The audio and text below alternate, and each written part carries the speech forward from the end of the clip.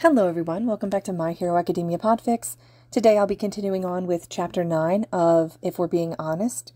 This chapter is entitled Bakugo, Part 2. Katsuki couldn't believe what he had just done. The one thing, the one goddamn thing. The one thing that he had tried to keep a secret with his quirk from hell over him. The only thing that he knew that he couldn't come back from. The one thing he swore to take to his grave. They all knew about it now. He was going to scream. Scratch that, he was definitely screaming. He found himself in the middle of the woods on his knees, where he knew for a fact they weren't patrolling at the moment, because when he had nightmares he came out here and ran until he felt like death and had memorized the patrol schedules as a result. He was all alone with these stupid trees, and therefore didn't bother stopping the raw, guttural shrieks that ripped from his throat. Of course you fucked it up, Brat. No one will ever love you when they realize how much of a villain you really are.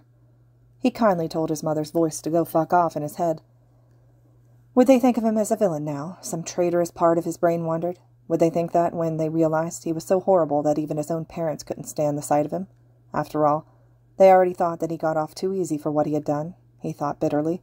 That's how most people saw villains that walked free.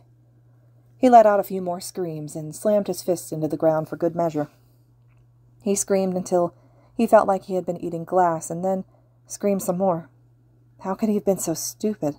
He was so fucking close, too. Not even another week, and he would have been home free. And he had lasted this long. It was only because fucking Pink Cheeks, of all people, had made him feel so angry. And yes, I know that doing bad things means bad things happen. Who the fuck do you think you're talking to? Because nothing ever worked out for him. Not really. He gets a super cool quirk and everyone at school loves him. Suddenly he's the brat that doesn't know his own weaknesses anymore and he needs to be reminded. He wins the sports festival. He says no to the award because he doesn't think he's earned it, and they restrain him like a fucking dog and force him into a panic attack in front of millions. He gets an internship offer with Best Jeanist. The hero only wants to change every single thing about him. He goes to a fucking summer camp of all things. The League of Villains decides he's their newest recruit. And that was it, wasn't it? He was always going to be seen as a villain. His mother reminded him of that all the time. She was worse than most, accenting her words with a well-aimed punch or kick that just anything and everything that she could get her hands on. He should have damn it, he should have been able to not say anything. He had been doing that his whole fucking life. It was why this truth quirk was so easy to handle. He had already had the urge to spill everything to everyone all the time. Please help me, he had been saying with his eyes ever since elementary. The anger only seemed to mask his fear, because he was terrified of anyone finding out, yet Somehow he still desperately wanted someone to know and take him away from it all. Please, help me. Save me. Save me, since he was too fucking weak to save himself. A horrible sinking feeling began to take hold in his chest. They were going to want to ask him questions. Why were you so weak, Katsuki? Why couldn't you get away, Katsuki? Why did you let her do that to you, Katsuki? Didn't you deserve that, Kacchan? Fuck, he'd deal with that later. For now, he just kept on screaming. Kirishima watched disconnectedly as Uraraka stuttered and was in shock. I didn't mean, she was saying, trembling like a leaf as she began to cling to Midoriya for dear life. I didn't mean to. Kirishima had to focus on her, because the alternatives were going to eat him alive. There was something in his chest that was weighing him down, and a definite lump in his throat that he was going to ignore. He felt like ripping his own skin off, anything to rid him of this feeling that was taking root in him and crawling all over his flesh. It felt a lot like horror, but he knew that wasn't quite it. He vaguely noticed how completely petrified and devastated everyone else looked, but made no move to comfort them like he normally would, because he just couldn't move. He wasn't sure how Katsuki had kept that secret for so long under the truth quirk, but it didn't matter any more. It was out, and now he was gone, and the one person that might have been able to make Kirishima feel better was suffering, and he couldn't do a single thing about it. He didn't know where on earth he was, or if he would be coming back at all. And it hurt. Did you... He heard himself croak in Midoriya's general direction. Did you know? He found himself staring into eyes that were so full of sorrow that he almost took a step back. Somehow he knew that Midoriya saw the exact same thing reflecting back at him in his own way. No. He was rubbing Uraraka's back, but almost in a way that made it seem like he was comforting himself more than her. I I never knew. How can I? He suddenly choked on a sob, and the tears began to rush down his face. He looked completely and wholeheartedly broken. How could I not have known? How did I miss it? Oh, God, it's so obvious now. Hey. Todoroki took one of his hands that was still wrapped around Uraraka. His voice sounded strained, and Kirishima tried not to think about why. You can't blame yourself for this. Kirishima stopped paying attention after all that. He couldn't help it. His thoughts were too much for him to handle on his own. Much less with a whole other heartbreaking conversation on top of it all. He must have fallen to the floor because his knees suddenly slammed into something hard. His legs couldn't hold his own weight any more, he realized as he fell back on his ankles. He put his head in his hands and he did his best not to shake. It didn't really work, because when he looked at his hands they were trembling so bad that he knew he wouldn't have been able to hold on to a feather if he tried. Katsuki didn't show up for breakfast the next morning, and Kirishima wasn't surprised in the slightest. He had heard him come back to the dorms in the dead of night, hearing the door next to his open so late it was almost light outside, before it closed far softer than it ever had before. Kirishima hadn't gotten a single ounce of sleep, and he doubted either of them would any time soon. The only reason he'd gone back to his dorm at all was because the rest of the squad had physically forced him to. He had wanted to stay there until sunrise, but they tried to convince him that he needed at least some sleep, and that Katsuki probably wouldn't even talk to him if he tried. They finally convinced him around two in the morning when the blonde was still nowhere to be seen. He didn't comment on the fact that none of them looked like they had gotten any sleep either. Everyone looked like zombies. Not a single smile could be seen, and it was almost dead silent. He avoided looking at his friends, and he didn't want to too much because he knew how close he was to losing it. And then he saw Uraraka shakily eating cereal at the table. And he lost it in a completely different way. He wasn't sure why he did it. He wasn't sure what made him so rationally angry. Maybe it was rational, and he was completely in the right to say the things that he did. He just saw the girl that stared and started it all, and his blood boiled below his skin, and his vision turned crimson. Maybe this was how Katsuki felt all the time, with the extra adrenaline pumping through his system. If so, he deserved a lot more credit. He wasn't sure of what he said, or how he said it, or how long it took, but by the end of it, Uraraka was crying, and he felt so overwhelmed with guilt and regret that he almost ran off just like Katsuki had the night before. But he didn't, if only because they would see each other in about twenty minutes when class began anyway. I'm so sorry, he said, instead, trying not to cry himself as he practically fell into a chair. It's not you that I'm mad at. I mean, I am. That was a really shitty thing to do. But, like, it's not you. I just want to. to. to wrap him in a hug and set his parents on fire, Midoriya asked with an emotional, tear filled laugh. Yeah, he said, lips quirking up shakily. That. I'm sorry, too, Uraraka said, wiping out her eyes. I shouldn't have pushed him. I shouldn't have said those things. I shouldn't have said that he didn't know what consequences were. She suddenly froze, like ice had been poured down her shirt, almost jerking to a stop. She was silent for a moment before putting her head in her hands. Oh, God! What? Kirishima asked desperately, feeling his heart begin to pound beneath his rib cage. She looked like she had seen a ghost, and with the way things were going, he almost didn't want to know, whatever she realized. Remember? Remember when I slapped him? She said, breath hitching. I didn't even realize. He just just shut down, didn't he? He was right. He didn't want to know. She just broke all over again, tears falling into her breakfast like some messed up seasoning. Kirishima followed not long after. Midori was right. This quirk was messing with him so bad. At least, that's what he told himself. Kirishima was about five seconds from putting his head on his desk and never picking it back up when Aizawa asked where Katsuki was. He must have seen their distraught looks, their tear-strained faces, and yet he still asked because attendance records trumped their feelings. He couldn't have known.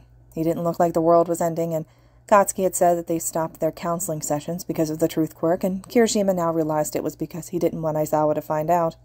He bit his lip. He couldn't say anything. It wasn't his right to say anything. Katsuki had never wanted anyone to know, had never wanted for any of this to happen. Kirishima could feel the raw, fucking willpower of the class was all using when nobody answered his question, either. Katsuki must have been there in spirit or something. They all knew they couldn't say anything. They had no right to, truth quirk or not, and yet he knew they were all desperately wanting to. He's not coming, Midoriya finally said, voice low and dangerous and close to tears all at once. He probably won't for a while. Aizawa simply nodded and started the class. Part of Kirishima wanted to scream at him until his throat turned raw. He's not okay. He's never been okay. Go and do something about it. Don't just sit there. How could he just sit in this classroom like nothing was wrong? How could he not immediately go find him and help him? How could he just walk by his dorm room that morning and not go inside, knocking for only a few minutes just to be answered with nothing? Why didn't he break the door down and make sure he was okay? Maybe he was actually mad at himself. Katsuki didn't show up until a few days later, at the end of the week. They hadn't seen him at all. He didn't come down to eat until all of them were either in sleep, uh, asleep or in class. Kirishima knew this because he never really slept anymore, too busy tossing and turning and listening to Katsuki breathe through their shared wall. It was too slow, too fast, not close enough, but it was the only reason he knew he was still alive. He had tried reaching out to him. So many times he pounded on his door, begging him to open it and let him in. There was no response, no change, not even acknowledgement that he had been heard. He was pretty sure he heard Midoriya doing the same, fist pounding and voice bleeding. The rest of their friends tried too, but were met with absolutely nothing. Jiro had even tried listening to him, simply making sure he was okay when nothing else seemed to work. And even Katsuki didn't actually show up to class. It was at the end of homeroom when he simply burst through the door like he always did and went straight for Aizawa, with a murderous glint in his eyes. Kirishima stared at him. It was the first time he was seeing the blonde in what felt like an eternity, and to put it lightly, he looked like a wreck. His hair was clearly unwashed and frazzled, like he had been putting on a show for who knows how long. The bags under his eyes were bigger than Shinso's. His nails were bitten down almost to the end, and his knuckles all had scabs on them. He wasn't wearing his uniform, in fact. It looked like he hadn't changed clothes since he had stormed out the other night. Kirishima was going to throw up. It's been a month, Katsuki said, slamming his hands down on the teacher's desk. Yes, it has, Aizawa said, not looking up from the papers that he was grading. So why is this fucking truth quirk still active? Aizawa sighed and turned to him, keeping his face blank. Kirishima wondered if that was deliberate. There was no way to know, but Kirishima was sure of it now. I told you at the beginning of this month that it was the least amount of time it would last, even if it was the most likely amount. The quirk specialist said it could take as long as three. You fucking liar! Well, you were the ones hit by the truth quirk, not me. I didn't see a reason to worry you all. Bakugo just let off a string of curses so long it probably broke some sort of record. He then stormed right back out the door, but not before Aizawa called out to him. And you better start showing up for class, unless you want your grades to start dropping even more. He didn't respond, walking right out and slamming the door so hard it cracked. Shoto wasn't surprised when Bakugo finally came back to class the next Monday. It wasn't like he could avoid them forever, and yes, Shoto definitely understood wanting to hide when secrets such as theirs came out, but the blonde cared too much about his grades to stay hidden away for the next two months. Theirs. The word still stuck out to him like a sore thumb. Out of all the people in their class to share trauma with, Bakugo was probably the person who would have been his last guess, which he realized was foolish in retrospect. So many of the signs were there irrational anger, irritability, well hidden anxiety, difficulty connecting with peers, internalized violent tendencies, a supposed superiority complex that probably masked an inferiority complex. How close he had been to Shinso during his panic attack, and how he had grabbed his arm when the truth was finally exposed, or even, when an adult hurts you, it's not okay, no matter their fucking motivation or whatever. He shook his head. He couldn't afford to think about all this right now, or he might get emotional again, and he had had enough of that for a lifetime. He knew his classmates were no better, especially Bakugo's squad of friends. They hardly ate, hardly slept, and most of their time was now spent camped outside of Bakugo's room. It wasn't even always to try and talk to him. Shoto had once walked by to see them all sitting around the door late at night, not saying a word, almost as if they were afraid something would happen if they strayed too far. Izuku wasn't faring much better, in any way, shape, or form. As his closest friend and boyfriend, Shoto had taken the brunt of comforting Izuku through all his tears the past few days. Iida and Uraraka had helped him somewhat, but the girl was also distressed beyond belief, and Iida was trying to help her the best that he could at the same time. And it was no secret how much of a mess Kirishima was. So when Bakugo walked into class, not even thirty seconds until the bell rang, all movement and sound stopped. He didn't even look at anyone as he marched to his seat and angrily sat down. Izuku, who sat right behind him, looked like he had seen a ghost and was about to cry at the same time. He seemed to be the only one brave enough to speak, though. Hey, Kacchan, he said with a forced, light tone. Bakugo took a deep breath, like he was trying to calm himself before accidentally biting the other's head off. What do you want, nerd? Oh, uh, he looked down at his desk, like Bakugo had eyes in the back of his head and was mad at Izuku for just looking at him. I just wanted to see if you were okay. This would usually be where Bakugo exploded or said something like, Of course I'm fucking okay, who do you think you're talking to? Or just straight up ignore him. His voice was instead defeated as he spoke. What do you think, Deku? Izuku looked like he was really going to start crying at that, but then Aizawa walked in and class began. No one really paid attention to the lesson, though. Despite all that was happening, Shoto trusted himself to not be shaken by whatever was going to happen. He was usually a very collected person, so he wasn't worried about what could occur. He honestly felt like he was prepared for anything at this point. We're doing one-on-one quirkless sparring. Todoroki and Bakugo, you're up first. Except for that. He glanced over at the blonde, who just glared at him before sharply looking away. He was slightly off to the side of the group, and when he heard his name get called, a large scowl set itself across his face. They wordlessly walked over to the middle of the ring and got in their fighting stances. Shoto braced himself because he knew Bakugo wasn't going to be pulling punches. He didn't on a normal day, but whenever he was mad about something, he always had that much more steam to burn. And he really had a lot to be mad about, didn't he? Aizawa told them to start, and the blonde immediately went in with a right hook, which Shoto dodged easily, but that was just the beginning. He dodged a million and one attacks in just a few minutes, the stream of punches and swings never ceasing. He wasn't sure how long it went on for because Bakugo started suddenly glaring at him, even more intensely than he had before the start of the match. Stop holding back, Bakugo yelled as he got in close. Shoto hadn't realized it, but he was holding back, mainly sticking to dodges and other defensive moves. He went to apologize, to tell him he didn't mean it and that it, he was going to make sure to give it his all now.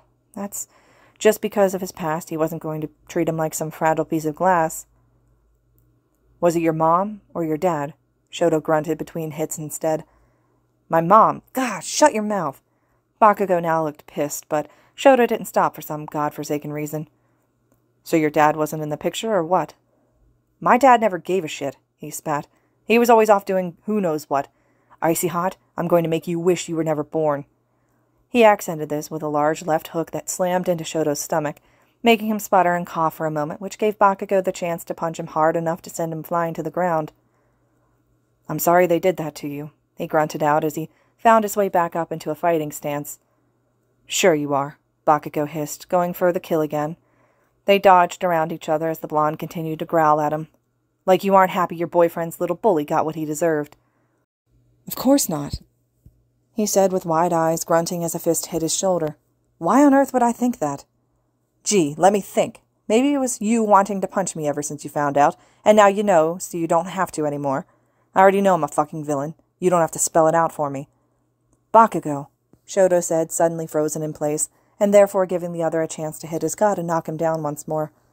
What? Are you going to pity me too? Send me those stupid puppy dog eyes? I think I understand you more than anyone else here, Shoto managed to say as he struggled upwards. So no, I'm not going to pity you. Bakugo let out a huff that almost sounded like laughter, before going right back into his barrage of attacks. Actually, I think Mindfuck understands me better than you ever will. Shinso? Shoto asked, bewildered. I don't understand. Because at least your father liked you, he finally screamed, stomping his non-stop attacks and looking like something had snapped deep inside of him, his shoulders heaving and eyes dangerous. Yeah, he might have been an absolute piece of shit, and you probably had it way worse than me, but at least he had half a mind to call you his goddamn masterpiece. Shoto wasn't sure what emotion was taking hold of him, but it felt a lot like dread. Bakugo. Oh, shut up, he yelled, throwing another half-hearted punch that Shoto dodged easily. My parents hate me. They've been saying I'm a villain for as long as I can remember. My mom fucking told me it was my fault that I got kidnapped and threatened to kick me out because of it. I'm pretty sure the only reason that she didn't was because of the goddamn dorms. He was practically seething at the mouth by now and staring at Shoto with an expression so full of hate that it almost masked the unrelenting pain in his eyes. How's that for understanding me? Bakugo spat when Shoto could only stand and stare at him. Do you understand everything a single person wanting to chain you up no matter where you go? Like fucking villains thinking that you're one of them, or heroes when you've only said no, or your mother with duct tape over your fucking ankles and wrists because it's cheaper than quirk suppressants? Shoto almost fell to the ground of his own volition this time. He must have looked like a fish out of water because Bakugo nearly laughed, like every word he had said wasn't more of a punch to the gut than his actual hits. He then got in close, pointing a finger right in his chest. His words were quiet this time, but still sounded just as deadly. Like I said, the brainwashing bastard has more in common with me than you ever will, even if it's only because of the goddamn thing shoved over our mouths. He suddenly jolted in what appeared to be fear. He then turned to everyone else, obviously playing off that he had forgotten they were there. Mind your own fucking business, extras. He then shot out of the room, leaving Shoto to do nothing but truly fall to the floor. He got a weird sense of deja vu from when the hero killer finally stopped moving all those months ago. The pure horror and shock filling every inch of his system as if he couldn't move if his life depended on it. Does anyone care to explain? Aizawa said, a dark edge to his voice none of them had ever heard before. Shoto had a feeling that they were going to be there for a while, they did have the whole period left, after all. He heard someone run to a trash can and throw up. He glanced up over and saw that it was Kirishima. There was one class left after hero training that day, and Kirishima absolutely did not want to go to it. What did he need art history for anyway? What purpose did it serve other than to keep him from going to Katsuki? Why didn't he just run and follow him out the gym doors? Was it because he was frozen like a coward again, just like he always was? Or was it the nausea from all the things he said that caused him to spew up his lunch? Or was he just terrified of what he would find out if he did follow? But he didn't want his rapidly dropping grades to suffer even more, so he sucked it up and went to class. He knew Katsuki wouldn't have let him talk to him either way, as upset as he was to admit it. He thought that at least he deserved something, some form of acknowledgement, some form of, I still care about you. His bitter thoughts ran rampant for a few moments before he squashed them down into the dirt because he knew that wasn't fair. Of course it wasn't. If Kirishima wanted to cry just thinking about what Katsuki had said, he couldn't imagine how he felt every moment of every day. Seeing his unkempt form and dead eyes was heart-wrenching enough on its own, and throw the whole emotional bullshit thing that Midoriya had told them about, and a nasty picture was painted on how he must be feeling. Katsuki didn't owe anyone anything. This quirk took away his freedom to choose what to say, and it was no one's fault that the fallout was so horrendous. The words he had screamed at Todoroki kept repeating in his mind like a broken record. Over and over again he heard the words, just like he'd been hearing his initial confession, over and over and over, like he was still screaming it right in front of his face, clear as day. He was never going to look at closets the same way ever again, that was for sure. Or duct tape. He could still taste the bile in his mouth from the aftermath of that particular truth bomb. Midnight began class as usual, just like nothing was amiss. He wanted to scream at her, too, that they shouldn't be wasting time with all this stuff when Katsuki was. when Katsuki was. Wait a fucking minute. Kirishima, what are you doing? He heard Midnight say through the fog in his brain. Oh, he was standing up. Good. You heard him. His voice was quiet, yet still so much darker than it normally was. He didn't care. You. you did that to him. I did what? she asked, clearly confused. The sports festival, he spat. You fucking muzzled him, and then chained him up. He barely registered the sharp intakes of breath from the rest of the class as they realized. He could barely hear over the blood pounding in his ears as he stared at the teacher that simply looked on impassively. I only did what was necessary, she said, unimpressed. He wasn't cooperating. Oh, fuck you! And that was Shinso, who was now on his feet.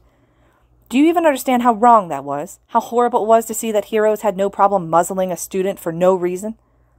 He wasn't going to accept the award, which was mandatory. So you chained him up instead, Kirishima snapped, and didn't think that his wild thrashing was some sort of goddamn panic attack? We had no reason to believe so, no.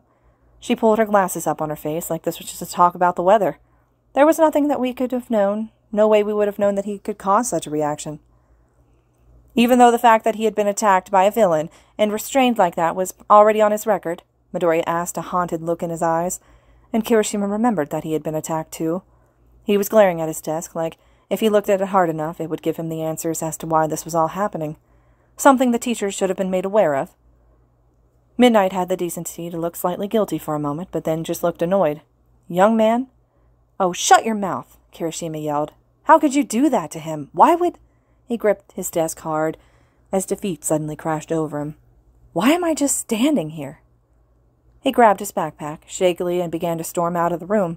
He ignored Midnight as she told him to stay. In fact, he only began walking faster. Pretty soon he was running. Katsuki, he yelled for pounding on the door for what felt like the millionth time. Open the door. No response. He heard him breathing through their wall, so he knew he was in there, but still nothing. He tried again, and again, and again, and again. Damn it! he finally yelled, slamming his fists against the door and leaving them there in frustration. I can't. I can't do this anymore, Katz. I, I care about you so much, and I just need. He choked on a lump in his throat and belatedly realized that he was crying. He rested his forehead on the door and watched as the tears hit the carpet. His voice came out as barely a whisper. I need to know you're okay. He didn't hear anything. His fist began to slide down the door. I need you here, okay? And I know that it's stupid, that I need you when you're the one hurting, but I just, I can't stand seeing you like this, please. Nothing. He stepped back slowly, blinking dazedly as he finally hit the wall and began to slide down, down, down. He found himself sitting, staring at the door like if he just looked at it hard enough it would open, like it would just open for him. He wasn't sure how long he sat there. He felt like he was dying, which again was ridiculous because he wasn't the one suffering, but he felt like it nonetheless. He felt like his heart was being ripped from his chest and he could do nothing to stop it. I'm sorry, he choked out eventually, still staring at the closed door. About everyone and what they were saying that night, and I just. I didn't defend you, and I was just. I was scared and. and frozen, just like I always am. Was he still crying? I want to be there for you now, and I'm sorry I've been too much of a coward to break your door down or climb through your window or some other completely ridiculous idea, but I don't. He felt a sob begin to build in his throat before pushing it back down. I don't think you would have appreciated that. He almost laughed at his own joke, and somehow the little twitch of his lips upward made everything else inside him come crashing down. What do I do? What do I do? What do I do? He had absolutely no idea. He had no clue how to make this better. He had no idea how to help. Some hero he was. He didn't think he'd ever cried so hard in his life. He was trembling from head to toe, and he had to physically stop himself from vomiting up whatever was left in his stomach. His sight was completely obscured by tears, and even then he had his face in his arm, resting on his knees, just trying to shut himself out from the world as he cried his eyes out and clutched at his chest because it just hurt that much. He felt sobs rip through his throat like knives, and they stung, but it was nothing compared to the overwhelming agony of his heart shattering into a million pieces. That's why he didn't hear the door open. He only knew when strong arms suddenly wrapped around him. He should have frozen. He should have said something, said something meaningful or beautiful or just a plain old thank you. He should have stopped crying and comforted his boyfriend like he had been wanting to for so long, like he had been begging to. But no, he didn't do that. He just latched onto him and cried even harder. I'm all right, see? Fuck. Katsuki shook his head like he was clearing it before speaking softer than Kirishima had ever heard him before. It's going to be fine. I'm right here, okay? I'm right here. This would have been a good time to comfort him, to switch their roles. Instead, Kirishima just buried his face in his neck and tried his best to steady his breathing. Okay, he whispered, barely audible over his own sobs. And then Katsuki just sat there. As Kirishima clung to him, he didn't protest, didn't say, okay, that's enough, get off, didn't complain about the tears soaking through his shirt or how much it must have hurt when Kirishima held him as tight as possible. He even ran his fingers through his hair awkwardly, like he was doing his best to be affectionate when he had never really learned how. And that thought was like rubbing salt in an already burning wound. Sorry I'm such a mess, Kirishima finally said, leaning back to rub at his eyes. I mean, you're the one that's hurting, and here I am like this. But you are hurting, Katsuki said, like it was the most obvious thing in the world. I hurt you. Kirishima looked up to see him looking away, eyes full of what looked like guilt and regret. You were just trying to protect yourself, he said with a half-hearted shrug. I'm not mad, it just hurt to know that I couldn't help you. And you say you won't be a good hero, Katsuki said with a little smirk. But no, the smile slipped from his face like it had never been there. You're too forgiving, okay? What I did was stupid and selfish. I think you had every right to be selfish, even if it was just for a little bit. Katsuki suspiciously wiped at his eyes before scowling. He sat up and turned so that he could sit right next to Kirishima and glare at the door, too. Whatever. Kirishima tilted his head slightly, like he could get a new angle on the problem if he looked at it differently. I still love you. He felt he needed to say it, not for himself, but because he had a feeling the boy in front of him might have been doubting it. I don't think you're weak. You could have stayed in there for another month and I wouldn't have been mad. I'd have still loved you then, too. I love you too, but can we talk about something else? Katsuki breathed. I can't do this right now. Kirishima's heart sank a little lower than it already was. Course. What do you want to talk about? Have you guys, uh, he huffed lightly and ran his fingers through his hair. You guys watched any good movies lately? Kirishima smiled sadly to himself. No, we haven't had a movie night since. Well, that's fucking dumb. He turned to see the boy scowling at the ground. Why wouldn't you? Because we were worried about you, Kirishima said automatically. We couldn't bring ourselves to spend time together without you like that. We agreed to wait until you were ready to come back. Well, that's never going to happen. You learn anything this past week worth my time? And so they sat there, talking idly and softly like nothing was amiss, like there wasn't a heavy tension still in the air pressing down on them from all sides. Kirishima leaned over so that their shoulders met and put his head on his shoulder. In response, Katsuki had grabbed his hand and laced their fingers together and held tightly. They still kept talking, but a bit of the tension drained from them at the touch. Maybe that was why Katsuki said what he did next, after Kirishima had accidentally let slip about how everyone else missed him. So, if I agree to go to your stupid movie night, I pick who goes? Never gonna happen, huh? He felt a shaky grin spread across his face. Of course. All our stupid friends can go. Katsuki ran his fingers through his hair once more and huffed. Yeah, that's it. That's totally fine, he said quickly. We won't have anyone there that you don't want. And no fucking cry circle. Kirishima turned his head slightly, confused as he stared up at the other's face. No what now? No fucking cry circle, he said again with a look of disgust. That stupid thing everyone's been doing whenever everybody sits in a circle and they cry. You mean talking through our issues and supporting each other? Kirishima said with a smile. Of course he had come up with a silly little name for what they had been doing. Under all his bite, he was just a huge dork, no matter how hard he tried to deny it. Whatever. No emotions of any kind. And I'm not a fucking dork. Kirishima couldn't help but bark out a strangled laugh. He must have said some of that out loud. All right, all right. We'll do our best. He clicked his tongue and turned away. And no questions.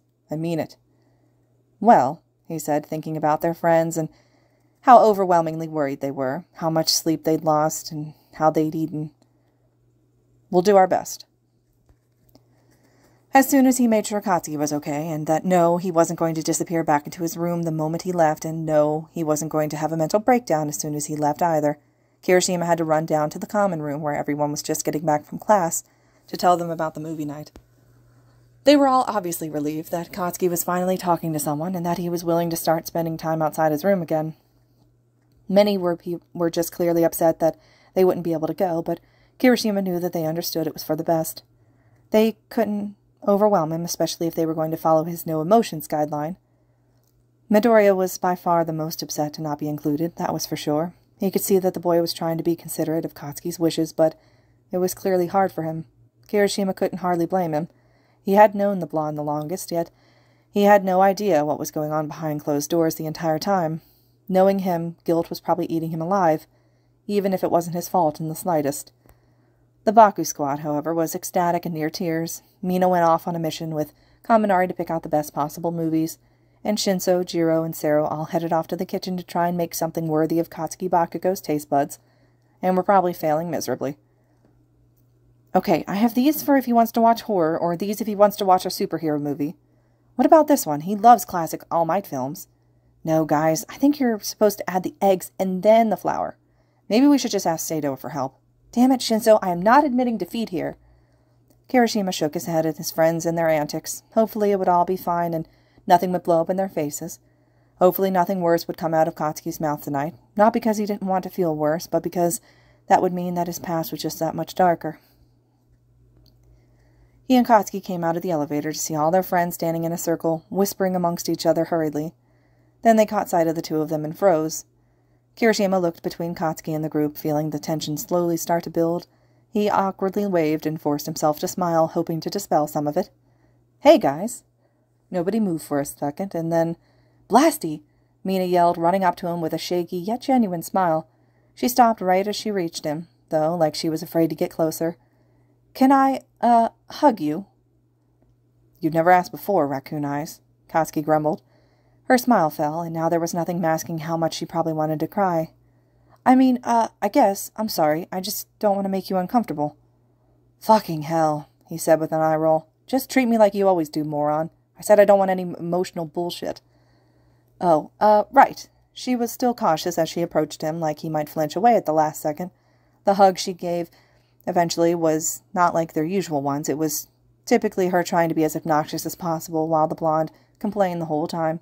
But now she wrapped her arms around him delicately yet tightly, and rested her head on his chest so that the top of it was tucked beneath his chin. Katsuki patted her on the back awkwardly, like he wasn't entirely sure of what to do, but he didn't say anything about just how long she was hugging him either. And for him, that was really a lot. Especially right now. Mina obviously knew that too, so when she pulled back, she offered him another shaky smile. Thanks, Blasty. Yeah, yeah, he said, crossing his arms with a huff. After that, everyone came up to him and said hi, skipping the how are you formalities entirely for obvious reasons. They began to chat like nothing was wrong, not unlike how Kirishima and Katsuki had been earlier. Everyone, that was, except Sero. Kirishima looked up at the tape user, who was slightly off to the side of the group with a frown on his face. You good, man? Is no one going to ask? They all immediately froze, most of all Katsuki. Kirishima sputtered for a moment. Hey, we all agreed. I'm not talking about that. No one said a word, clearly at a loss for what he was talking about. Sero huffed. All right, fine. I'm just going to say it. What was with not answering us? What the fuck were you thinking? He yelled, clearly pissed off. You had us all worried sick, man. Oh, so that's what this was about. Kirishima remembered how upset and regretful Katsuki had been for doing that and went to say something to defend him. I thought it was only going to be for a few days, Katsuki said with a scowl. I wanted to wait this damn thing out. And you thought that we would just, what, ignore you? Sero said, matching his glare. Not to worry about it if you were okay or taking care of yourself at all? I was fucking fine, idiots. He suddenly looked down and crossed his arms once more, like he wanted to make himself smaller, which was so different than he normally was that it broke Kirishima's heart all over again. I thought you'd just, I don't know, let it go, forget about it, if I was gone long enough. They all stared at him. Kirishima really needed to start some heart medication soon, before there was nothing left. Maybe Aizawa could hook him up with something. Dude, Kaminari choked out after a moment. Even I wouldn't forget something like that.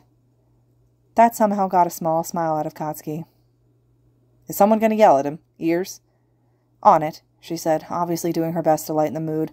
She promptly smacked him over the back of the head. Love yourself, idiot. Kaminari laughed wetly as he rubbed where she had hit him. Right. Sorry. Let's just watch some damn movies, Katsuki said, obviously desperate for the topic to change. Kirishima pointedly ignored the slight moisture in the blonde's eyes as he was harshly blinking them away.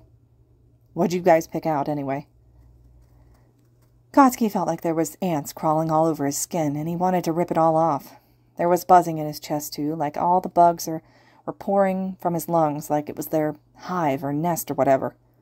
He loved all his stupid, moronic friends, and they were morons if their damn cooking earlier was anything to base it on. He really did. He didn't have to lie to himself any more about that because he found himself actually caring about others for once in his life. And maybe that just wasn't true. Once upon a time he cared about his parents, and his teachers, and the other kids on the block.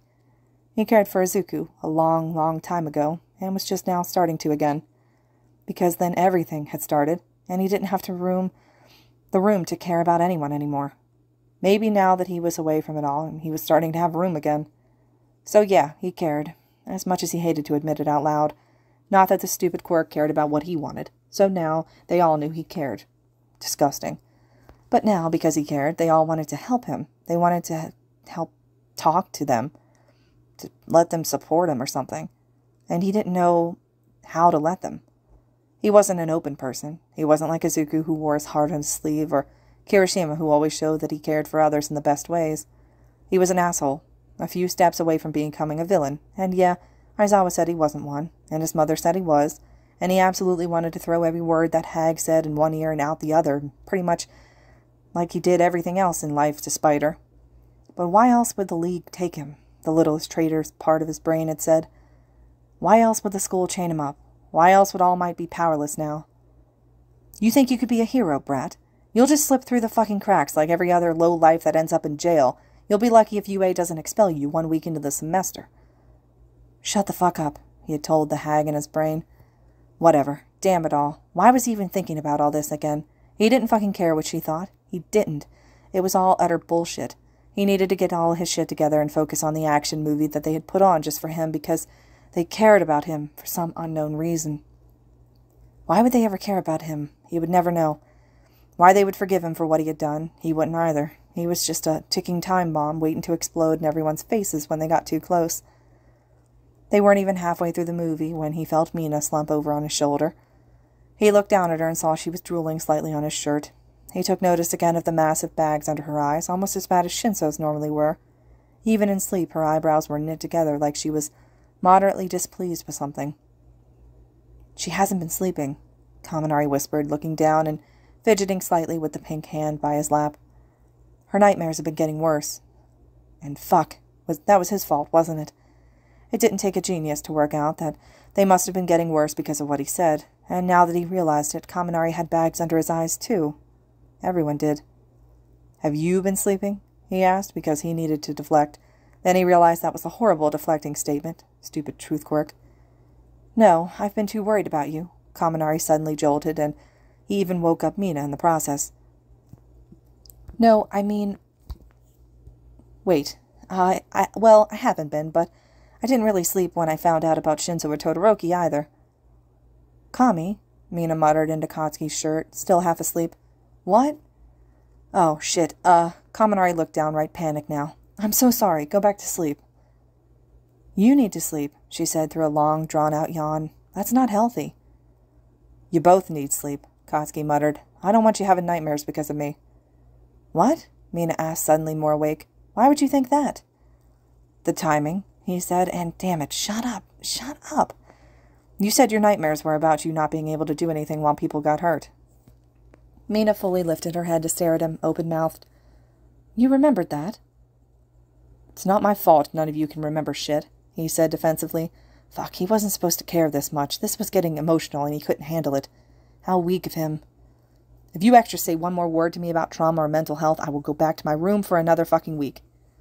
Kaminari, who had his mouth open, snapped it shut faster than was probably possible by any human. Katsuki ignored the sinking feeling in his chest when the other blonde turned back to the movie, and when Mina did as well. He didn't want them to ask anything. At all. He was relieved. So why was part of him disappointed? Was it because everyone else in his life had ignored his problems for as long as he could remember, and now he was just forcing them to do the same? Was it so horrible that he wondered to get help? To have feelings that weren't rage or indifference or despair? Was it so horrible to not be strong for once? Because he had to be strong. He had to prove everyone wrong, prove her wrong, that he could do it, that he wasn't a fucking villain of all things. Just because he was rude and loud to everyone he didn't understand the motivations of, did that make him irredeemable? Was not knowing who was on his side because everyone seemed to always be against him such a heinous crime? Hey, be nice, Kirishima muttered on his other side, ripping Katsuki from his thoughts. They just want you to know it's not your fault.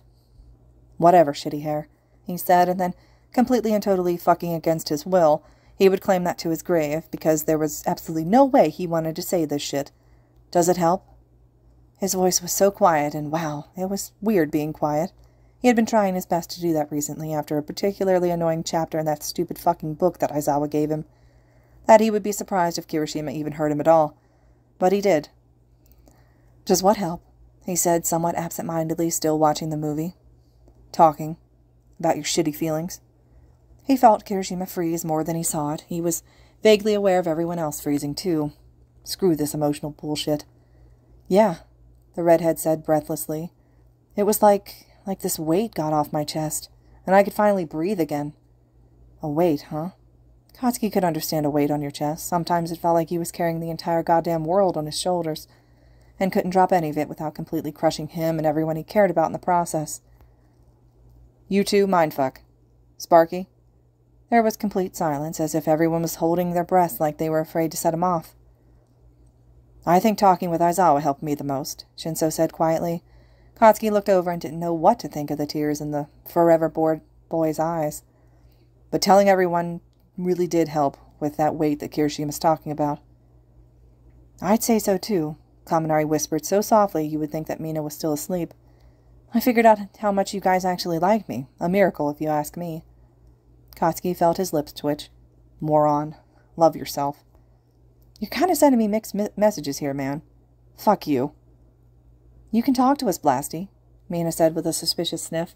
And why hadn't he stopped her from day one with that ridiculous nickname of hers? He had no idea.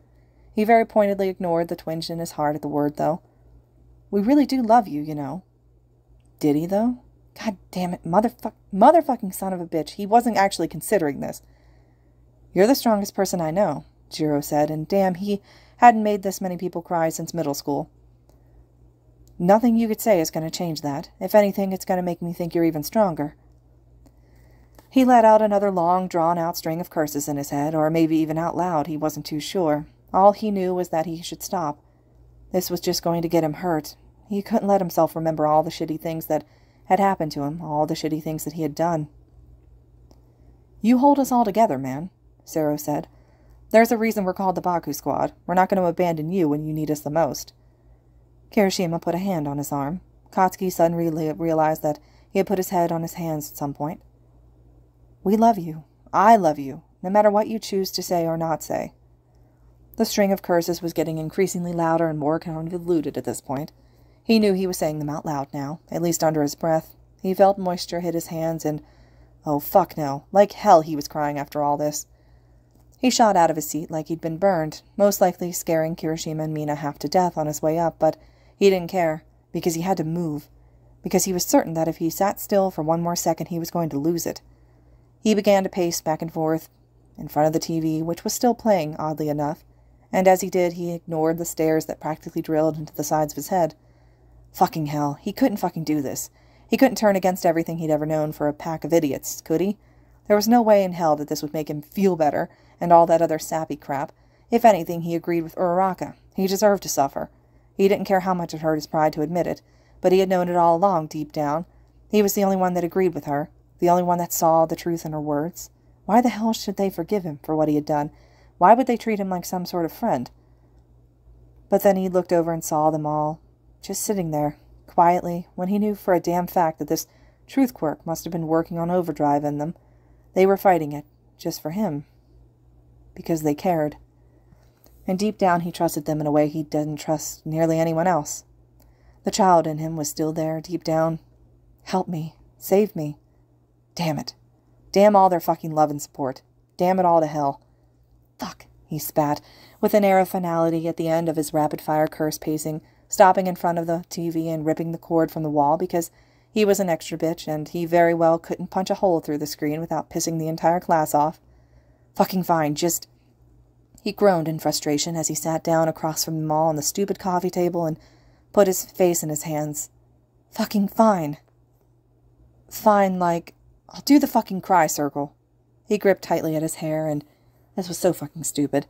He didn't need to do any of this. But no actual crying, and if I'm going to do this shit, I need a few more people here. He heard nothing. He looked up and wasn't surprised in the slightest to see them all staring at him with wide eyes, like the sun itself. yeah, man. Sure, Kaminari said, standing up shakily with Mina. Who do you want us to get? Yep, Katsuki was going to regret this.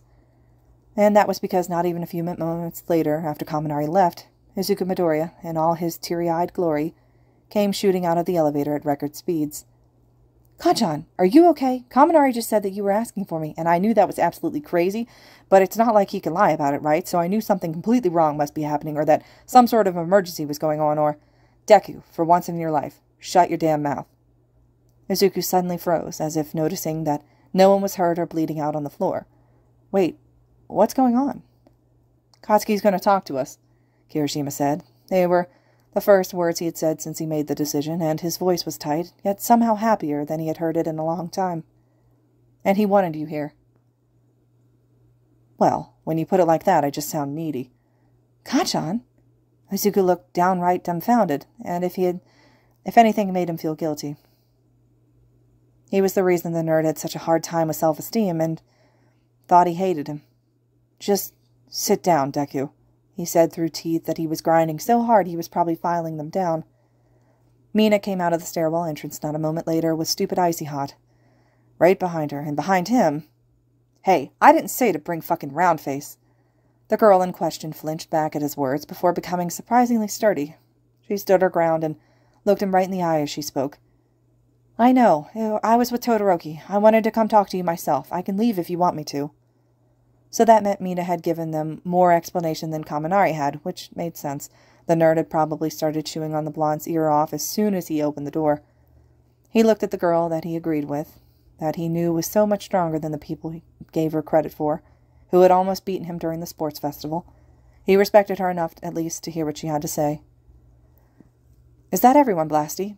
Mina asked, slightly out of breath from taking the stairs. She had insisted, though, because it would be faster than waiting for Kaminari to get on and off the different floors.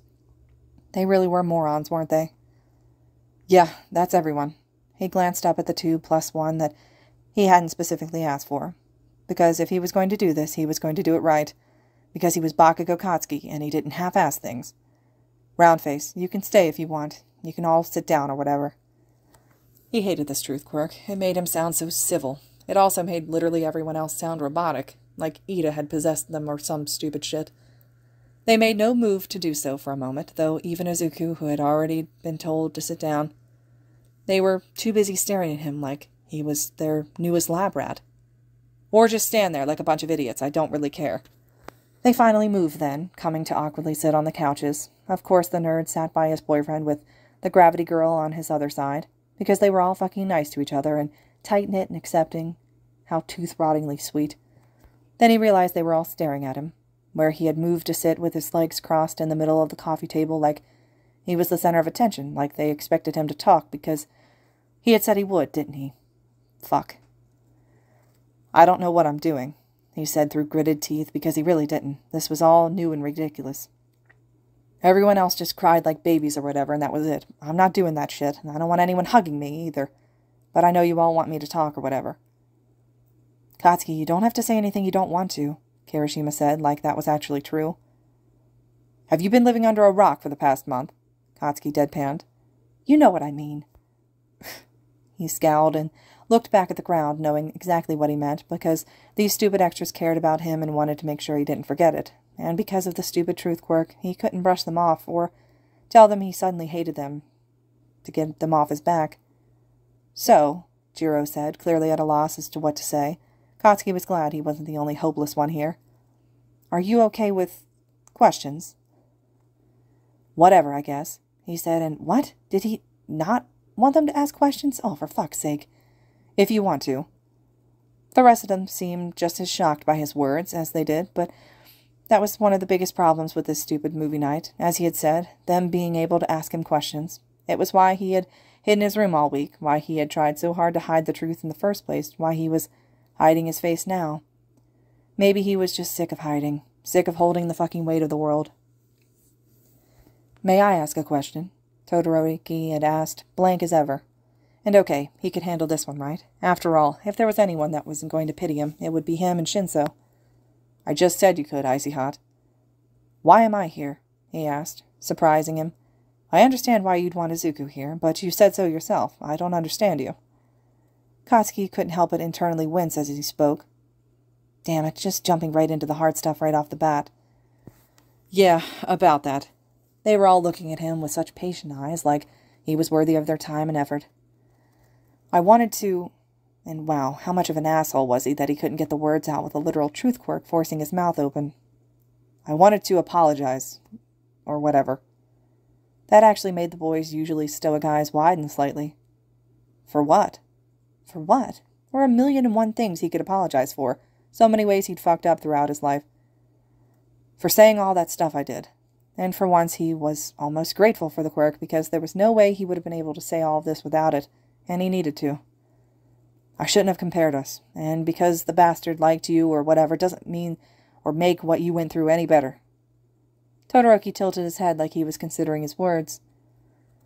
Thank you for your apology, but I don't think you were all that wrong. If he had hated me, it probably would have been worse, at least when it came to his temper. That's not... Katsuki internally groaned. Why couldn't they just admit that he had fucked up? I'm not saying it matters how good or bad you had it. I shouldn't have said anything at all, even if we weren't all that similar. And why, oh, why did he have to tack that onto at the end of his sentence? It's okay, Todoroki said, shrugging. I pushed you, and I hadn't wanted to do that either. We both had our mouths forced open. He suddenly looked at him sadly, but there was no trace of pity in his eyes. And we're more similar than you think. My father never locked me in a closet, but he did once lock me in the training room and told me he wouldn't let me out until I passed out from exhaustion. Katsuki was not ready for the gut-wrenching emotions that came with that particular sentence, but he spoke it against his will. How long did that take? Around two days. I can't remember. He wouldn't let me sleep. He said it had to be me actually passing out. How long were you in the closet? Three days? Yeah, about that long. That's how many days I was suspended for. And maybe stupid Icy Hot's honesty made him weaker against this quirk, like he wasn't as scared to be vulnerable anymore. My mom put duct tape over my hands and stuff so I couldn't blast my way out without hurting myself more than she already had hurt me. Fucking son of a bitch. He felt horror start to creep into his veins as he realized everything he just said. This was the end of his dignity, that was for sure. Yeah, my dad put metal over the door so I couldn't burn my way out, even if I wasn't using my fire at that point. He only ever did that once, so it wasn't too bad. Okay, so maybe it wasn't that bad. If Todoroki was still respected for all of that, then they couldn't think he was that weak, right? It was only a few times she did that to me. It was whenever I was being too much of a brat, or whatever. The first time was when I broke Deku's arm, though. That was the longest. Did they even feed you guys? Kirishima suddenly asked with a small voice.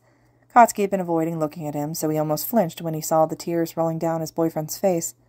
And damn it, how bad of a boyfriend was he that he was making him cry so fucking much? He let me have water, Todoroki said, so I could go on for longer. I almost didn't drink it, I wanted out of there so bad. Silence met his statement, and Katsuki realized they were all waiting for his answer, and once he did, he couldn't stop himself. She didn't give me anything. He felt like his muscle fibers were going to snap from how tense they were.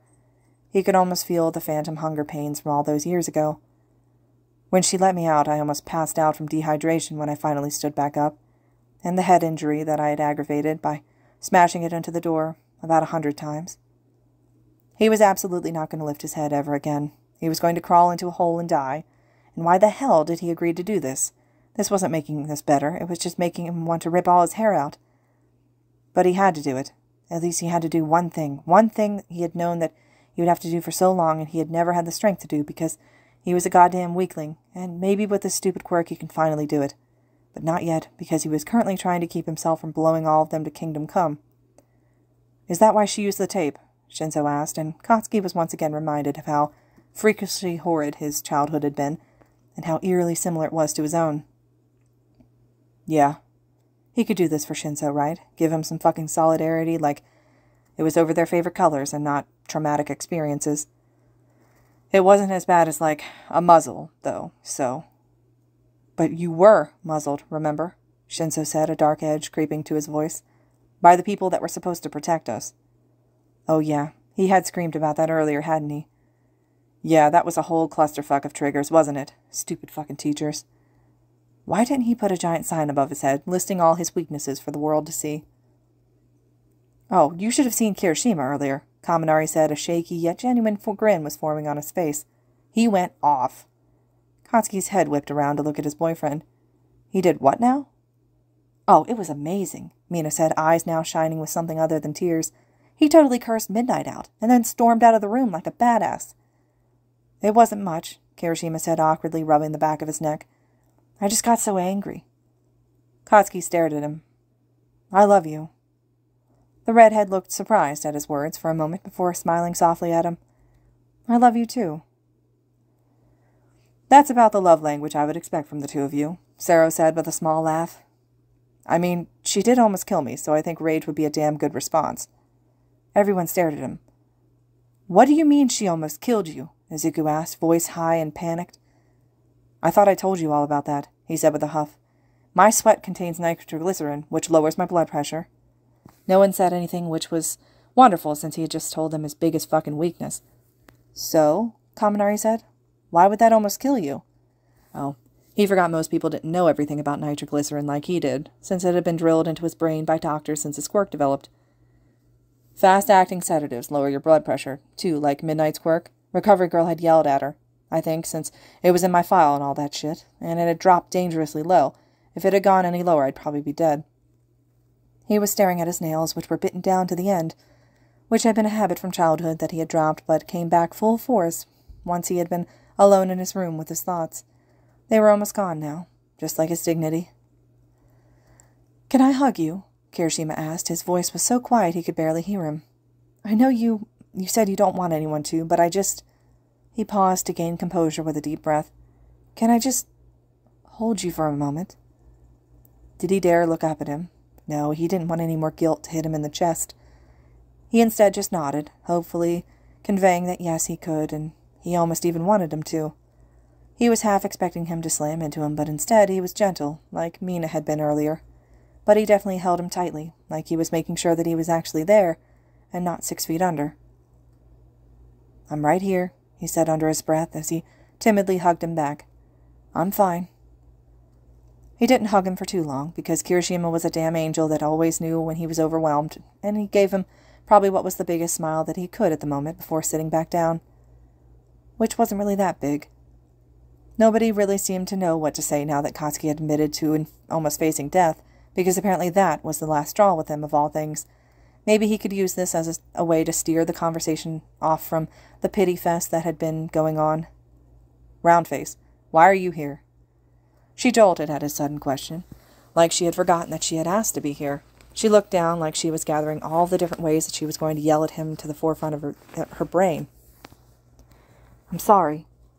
Wait, what? What? I'm sorry, she said again, her face then immediately crumpled, like she'd been only keeping her composure through sheer willpower. I shouldn't have.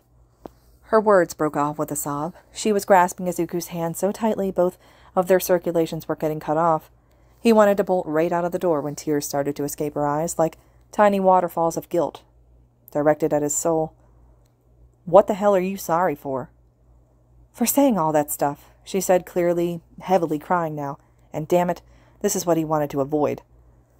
And I felt bad enough about it before, but listening to you all talk about about everything, I just she buried her face in the nerd's shirt. I'm so, so sorry.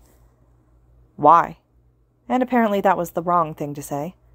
What do you mean, why? she asked, somehow even more distraught than before, which was just perfect. I said so many horrible things. It wasn't my place to say any of it, and I never should have said that you had to suffer. But you were right, he said with a small shrug. Why didn't she understand any more? I did so many horrible things. It's not like the school was ever going to do anything, just like you said. I deserved it. No one said a word. He stared down at the table and tried not to feel too disappointed. This was part where they realized that he was a lost cause, that he was nothing more than a villain, that he was weak for letting her do all that to him, for deserving it at all. Katsuki Bakugo, you look at me right now. His head practically snapped up to see Izuku staring at him with the most intensity in his eyes that he'd ever seen before. And wow, the nerd still knew how to pronounce his name. Small victories. If you ever, ever say that about yourself again, I will personally kick your ass until you learn to forgive yourself. Do you understand me? I mean, not really, he said against his will. And oh great, that just made Izuku start to cry again. His mouth still continued without his permission. I just let her do all that to me like some weakling. You're not a weakling, Todoroki said. He was rubbing his now almost sobbing boyfriend's back, because Katsuki just couldn't interact with him without making him cry, now could he? Was I weak for letting my father hurt me? That's different, he said immediately. He was the number two hero, for fuck's sake. The hag was just some weak old lady I could have blasted hell if I tried hard enough. That's not how abuse works, Bakugo, Jiro said. She was twirling her earphone jacks between her fingers, clearly distraught and yet looking at him dead in the face. He tried to ignore her tears as she spoke. You don't fight back just because you become stronger than them. They make you have a fear response that you can't control. And fuck, that was the first time the word abuse had been used, wasn't it? Made him feel disgusting, like he was damaged, like he wasn't whole. But you don't understand, Katsuki said, trying not to sound like he was about to cry, because he wasn't. You don't understand how awful what I did was. Kacchan, Izuku said, suddenly more sturdy than he had been not ten seconds ago. You weren't a a monster.